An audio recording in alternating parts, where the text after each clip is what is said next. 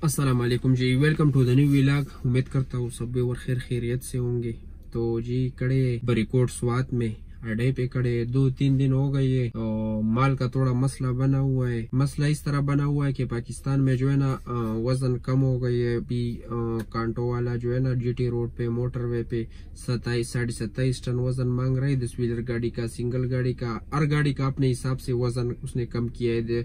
Trailer का अपना वज़न है सिंगल गाड़ी का अपना वज़न है। तो दस व्हीलर गाड़ी को अभी वो कह रहे है कि अपनी साढ़े सत्ताईस टन से ज़्यादा गाड़ी लोड नहीं करना है। तकरीबन टोटल साढ़े सत्ताईस टन गाड़ी मांग रहे क्योंकि हमारा तकरीबन खाली गाड़ी का वज़न न होता है, तेरह, किसी का तेरह टन बन जाता है बारह टन, किसी का साढ़े बारह टन है। अभी देखो, कितनी गाड़ी खड़ी है, ये देखो, किसी ने तो तरपाल पूरा पूरा डाला है, कह रहे कि यार वज़न का बिल्कुल खात्मा हो जाए। ये देखो, जो अपना दूसरा गाड़ी, वो भी कहा गया, अड़े पे रोक गया, ये तो आ जाए, हम तो दो तीन दिन से खड़े ये देखो, कितनी गाड़ी खड़ी है, इस साइड पे अब देख ले, ये देखो, ये भी देख ले। मुझे गाड़ी में बैठे, ये देखो, सारे उस्ताद आके मेरे पास बैठे है, ये गुल मोहम्मद उस्ताद है, ये मोहम्मद उस्ताद है, और गुलजार तो आपने देख लिया मामिन को देखो। जी माल का प्रोग्राम नहीं है तो सीट में बैठे देखो जो और भी गाड़ी आ गई है। बिल्कुल हालात जो है ना ख़राब हुए। वज़न की वज़न की वजह से मसला बना हुआ है। तो महमूद सर क्या ख्याल इस वज़न के बारे में? सही है या नहीं? सही है पंद्रह टन सही वज़न सही वज़न है? सही वज़न गाड़ी के लिए मालिक के लिए ड्राइवर के लिए? यार मालिक के लिए नुकसान है लेकिन ड्राइवर के लिए नहीं मालिक के लिए किस तरह नुकसान है? सही बात उसके लिए बहुत है। बचत ज़्यादा नहीं होता? नहीं बचत तो नहीं होता लेकिन असल में ना आपका अभी एक साल गुजार रहे फिर दो साल तक चलेगा आराम नहीं से। इस तरह तो बहुत फ़ायदा है। फ़ायदा है? हाँ, हाँ। आप मिस्त्री का मिस्त्री के पास भी नहीं जाएँगे क्योंकि ना इस वज़न में गाड़ी का नुकसान कम बहुत ज़्यादा कम होगा। बिल्कुल। इस तरह है ना? है। तो क्या आपके क्या ख्याल है कि ये वज़न कम हो जाए सही है कि नहीं है? नहीं मैं तो कह रहा हूँ कि ये वज़न इसी तरह जो है ना पंद्रह टन थे।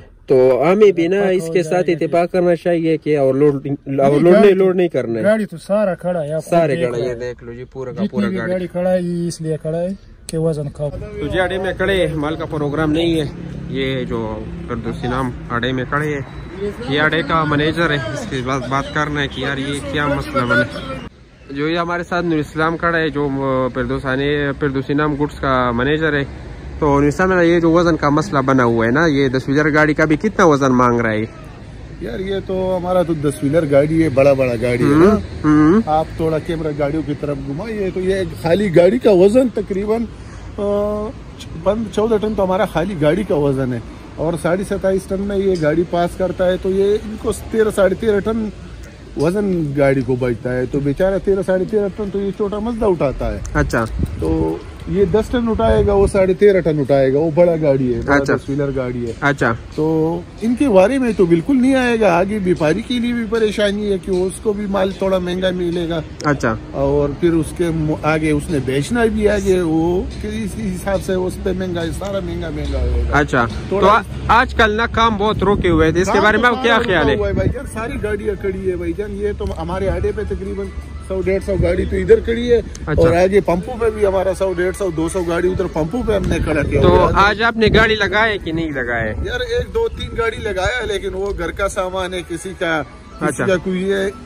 इसे ऐसे हल्का फुल्का जो सामान इस गाड़ियों का कितना टाइम हो गई जो गाड़ी कड़ी आडा भर है सारा? ये तो इसके तकरीबन चार पाँच दिन हो गए चार पाँच दिन में सारा भर गया। अच्छा। और अभी हमारे यहाँ बहुत सारी हमारे तो तकरीबन दो ढाई तीन हज़ार गाड़ी है तो वो अच्छा। सारी जब आएगी तो इधर सारा ये रोड भी जाम हो जाएगा इतना गाड़ी इधर खड़ा हो अच्छा अभी व्यापारी आगे से क्या कहता है कि यार ये वो सही है वज़न या नहीं सही है क्या कह रहे हैं? व्यापारी क्या कह रहे हैं इसमें व्यापारी व्यापारी बेचारा भी परेशान है। परेशान है। हाँ उसको भी परेशानी आ रहा है की भाई यार उसको भी बारे में नहीं पड़ रहा ना। इसमें ना एक लेवल इसका होना चाहिए। अभी ये व्यापारी का फ़ोन आ रहा है ना। अच्छा। इसको मैं अभी बता रहा हूँ आपके सामने कि भाई पंद्रह टन गाड़ी मिल रहा है। अच्छा। वो बोलेगा कि नहीं ये पंद्रह टन तो वारे में नहीं आता। असल में ना पंद्रह करा टन का किराया भी फिर ज़्यादा पड़ेगा ना क्योंकि गाड़ी तो डीजल का लेता है हाँ, ना गाड़ी डीजल का आता है सब कुछ करता है सब खर्च ये तो होता है। अच्छा। हाँ तो इस वजह से यार ये गाड़ियों को वारे में नहीं पड़े। कम अज कम इसको अच्छा।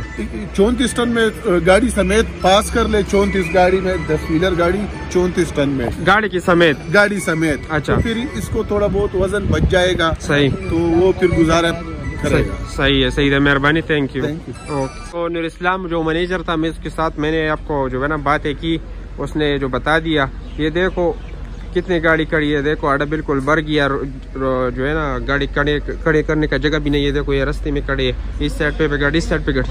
जो मैनेजर था फिर दूसरी नाम गुड्स का उसके साथ हमने बात की वो कह रहे कि जो है ना गाड़ी के समेत बत्तीस तैंतीस चौंतीस टन तक वज़न होना चाहिए। तो भाई हर किसी का ना अपने राय है तो बस ये वज़न एक जगह पे रुक जाए ना तो ठीक है। लेकिन पंद्रह टन गाड़ी के लिए ना, अगर पंद्रह टन वज़न बन जाता है ना तो ये जो है ना, इसको गाड़ी को भी आप हल्का करोगे, क्योंकि तेरह टन तो इसका अपना वज़न है गाड़ी का। ये जी, ये अड़े में छोटा सा होटल है। इसके मज़े है, इसके मज़े क्योंकि सारा गाड़ी रुक गया है। बस ये आपने चाय बेच रहे जी। आज तो बीस तीस हज़ार का चाय आपने बेच दिया है। ठीक है ना? गुलजार उस्ताद भी बैठा है ये मिसल उस्ताद खबर है हल कहूँ आज गाड़ी का ना वज़न का मसला अच्छा। तो जी आपके साथ जो है ना आडे वाले के साथ भी हमने बात की है और ड्राइवर से भी पूछताछ की है। तो यही है आजकल हालात जा रहे हैं पाकिस्तान में गाड़ियों का। तो ये था हमारा छोटा सा विलाग अगर विलाग पसंद आए तो चैनल को सब्सक्राइब करें। मिलते हैं नेक्स्ट विलाग में खुदा हाफिज़।